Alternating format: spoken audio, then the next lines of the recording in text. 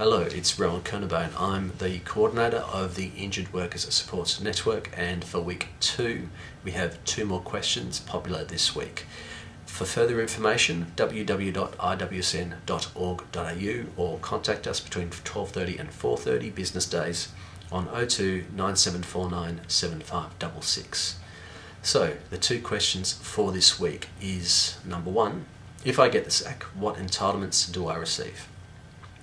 So it's unfortunate and wrong that being injured means you may lose your job for no other reason but the fact that your employer doesn't want you there anymore.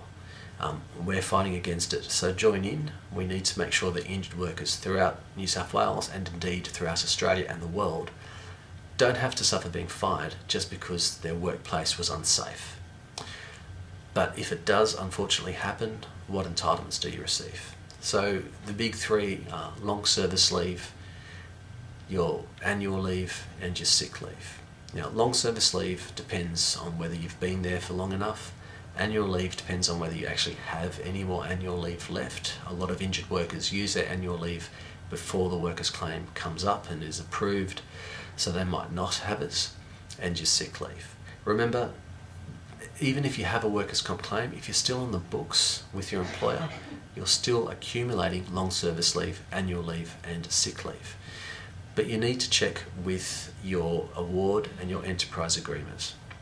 main reason is some awards and enterprise agreements won't include sick leave, though they will include long service and annual leave. So that's the big thing. Some awards and enterprise agreements will have further entitlements. Um, might be four weeks, might be six weeks, might be 26 weeks, depending on the award. So best to check with your union if you're with the union, um, or get a hold of your enterprise agreement and have a read of that. Not all employers will be forthright about what you should be entitled to, and not all insurers will let you know that you are actually entitled to that. So you need to inform yourself. So that's if you get the sack, what entitlements do you receive? The second question is along the same veins, unfortunately, and which is what's the difference between medical retirement and Section 248 dismissal? So, a Section 248 dismissal is in the workers' compensation legislation. It, it's not worded as dismissal, it's worded in this way that your employer has to provide you suitable duties for six months. And that means if they're not providing you suitable duties after six months, they can say goodbye to you. They can give you the boot. It's unfortunately very common in workers' compensation matters. Now, they don't actually have to prove that you don't have, they don't have suitable duties. They just have to say they have suitable duties. It's completely and utterly unfair. Now, Safe Work Australia have return to work coordinators there and inspectors, so they can actually go to your workplace and double check but there's not a huge amount of power that they have to enforce it. They can try and convince the employer that there are suitable duties there, and certainly your insurer should be doing everything they can do to make sure there are suitable duties there, and your rehab officer, rehab provider should be doing that as well. Doesn't happen a lot, unfortunately. It's a very large hole in the system. But the that's a Section 248. So a Section 248 is under workers' compensation you should receive a letter if it's under section 248 saying there are no longer suitable duties for you. If it says anything else, that might stray into industrial law, not workers' comp law. And medical retirement is industrial law, it's not workers' comp law. You can't get fired under workers' comp law. You can't get medically retired under workers' compensation legislation. It just doesn't exist. So it's industrial. And basically what medical retirement is, is your employer saying you are no longer fit to carry out the duties in which you were hired to do.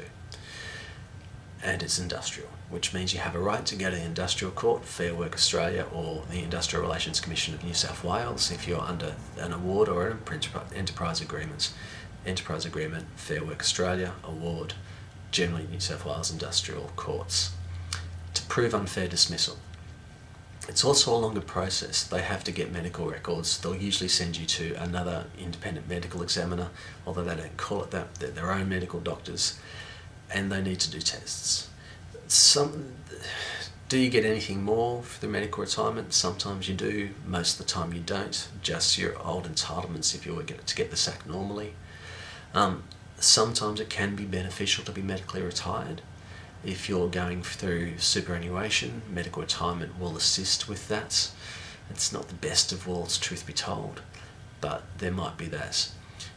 In other circumstances, it's not so good to be medically retired. If you're a public servant, it'll mean that you won't be able to go back to the public service unless you can prove that you're fit and capable.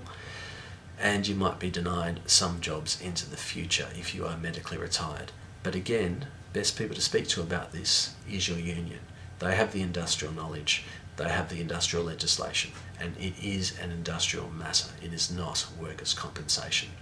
So I hope that helps. If you have any other questions, um, just email us at help at injuredworkersupport.org.au. Go online, www.iwsn.org.au, like us on Facebook, follow us on Twitter, give us a call, 12.30 to 4.30 if you have any questions, 9749 7566, or you can leave a comment below. Thank you very much.